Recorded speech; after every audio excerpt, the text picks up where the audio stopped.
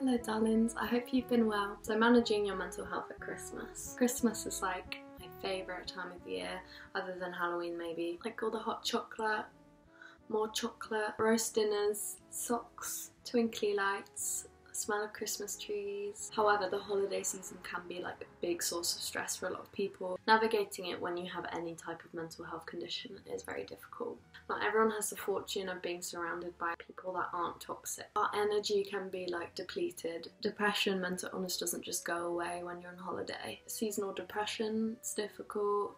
Eating disorders, very difficult. Emotional intensity disorders in general everything. So, I think my first tip would be self care. The holidays so intensely focuses on spending time with your loved ones and your family, but like self care can like fail to be mentioned. I don't know, like a lot of us don't give ourselves time for this. I think the key to maintaining self care over the Christmas is to like schedule it in and like kind of treat it as an obligation. So, just as you'd write in your calendar, like to meet a friend, schedule a day dedicated, or even just an evening dedicated towards your mental health. Caring for your emotional energy and making sure it's not drained. Self care is unique to everyone, so it can be whatever you want, baths and stuff. Making sure like your pleasure is a priority and your joy and your sense of self is still there. Not everything with self care is like do a face mask. Sometimes self care can be boring, like literally brushing your teeth going for a short walk, having a shower. But do things like listen to a podcast or even watch a movie because it's easy to get overwhelmed during these times. And also like just to leave your phone out of your self-care because that isn't really self-care. Like that's another way to feel overwhelmed. I know christmas shopping can be overwhelming too and i might do a whole dedicated video towards shopping and anxiety like for a lot of us um, we can get like changing room anxiety, uh, feel overwhelmed in crowds. If you have not a healthy relationship with your family, I would set boundaries. I'm fortunate enough to have a loving family, so but I can only imagine how claustrophobic that would be if you had a bad relationship with your family.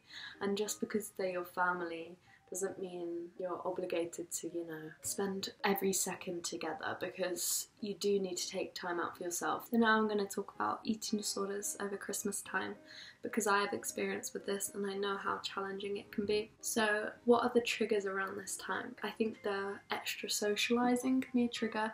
Of course, things like going out for a lunch with your family or like I don't know, like a Christmas work do um, can be lovely but spending this extra time in the company of others can be exhausting if you're mentally ill. Even before food comes into the question, like that can be exhausting in itself. Also, the pressure can be a trigger for those with eating disorders. Statistics show that people with eating disorders are more likely to have OCD or perfectionism tendencies. Christmas time can just like be extra stressful for us because we want everything to get we want everything to go right, even if it's something from like buying a Christmas present for someone or just to attend all of these Christmas events or just the pressure to seem happy and like everything's fine can be hard to manage and like sometimes you feel guilty for not constantly feeling festive. To those, you know, who are in recovery for an eating disorder, I'd say don't focus on food too much. Obviously, you have to eat, but Christmas like celebrations are always centered around food, it feels like. Don't be so rigid on yourself, especially this time. Like, you don't need to control everything. I think now's the time to challenge yourself by adding in some like additional treats and just like making sure you don't feel pressured by anyone else, but at the same time, don't reduce your intake. Like, especially because now's the time to just try and relax and try and enjoy everything. Don't obsess over it, especially during this time. Don't focus too much about it. It's way easier said than done, but without feeling guilty, plan and encourage some time out. Maybe tell your loved ones, obviously you love them, but like you might need like a little escape plan, whether that be meditating, taking a small walk. I think this can help diffuse the feelings of guilt. It's okay to need a bit of time alone to recharge. Also, I'd say focus on other things. Like, I know I've kind of already pointed this out because a lot of Christmas time is focused around food, but there's so many other lovely things about Christmas, like whether that be board games, uh, cozying up to a Christmas movie. Some people go to church. Uh, going for a little family walk is what we usually do. Not everything has to be so focused on food. Talk about things, like talk to your loved ones.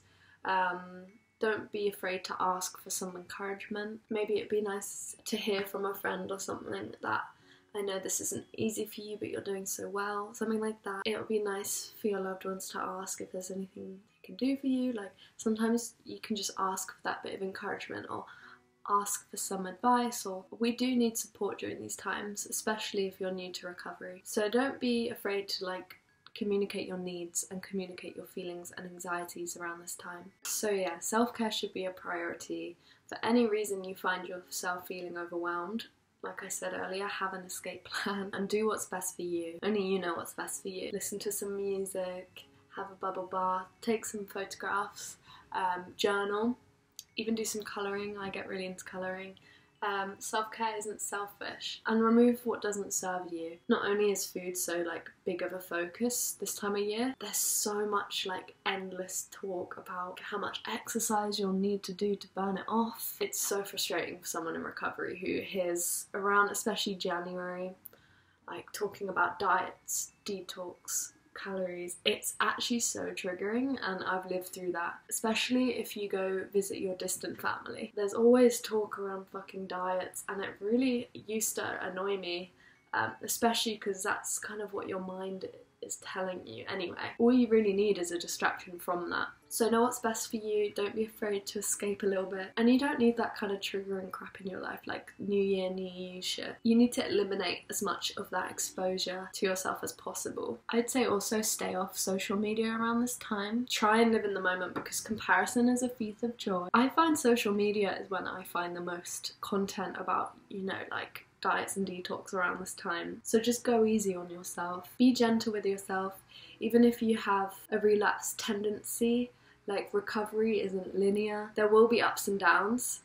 Just because you have a small lapse doesn't mean you need a full relapse. So just keep trying. Don't just give up. You're doing amazing. I know that the Charity Beat has helplines around Christmas time and I'll put up on the screen some helplines. I think most of them are from the UK. I think I started recovery around December, or it could, no, I think it was November. Yeah, it's November. Although it's so challenging and like I felt so overwhelmed and emotionally just, it's so intense. For me, it's kind of like now or never. Like, there will never be the right time to start recovery. You are sick, there's no such thing as sick enough to recover. Getting any sort of thoughts that you need to be sicker is indicative of sickness in itself. Even if you haven't been diagnosed, you deserve help. Even if you haven't been hospitalised, you deserve help. You don't need to look a certain way to have a disorder since it's a mental illness, not a physical one. So, like, try and enjoy things like hot chocolate and treats and stuff because when you do recover, you'll look back and think, that is so depressing that I missed out on all this lovely stuff and all this lovely time in this isolative, depressive, empty, cold feelings. You deserve to recover. You deserve to feel happy. Don't be afraid to call uh, Beats helpline either. So yeah, with like borderline personality disorder, emotional intensity disorder, whatever you want to call it, now is also very tricky for us. Just overwhelming in general. But like I said, well, like I've been saying, just try and use this time to relax. I know it can be a big source of stress, but it's not meant to. So, like, don't put so much pressure on yourself for everything to go smoothly because just because you're on holiday doesn't mean that you're gonna be cured. Like, your mental illness doesn't just like get a holiday too, unfortunately. I hope anything I've said has been helpful. But yeah, like, just try and have a chill time I know I'm going to be playing lots of Animal Crossing because I, I just get the feeling that the new update's going to be so lit. I posted new content on my Depop and I've got loads of new stock coming. Thank you so much for watching. Sending all my love. I know it's so early, but Merry Christmas. Bye.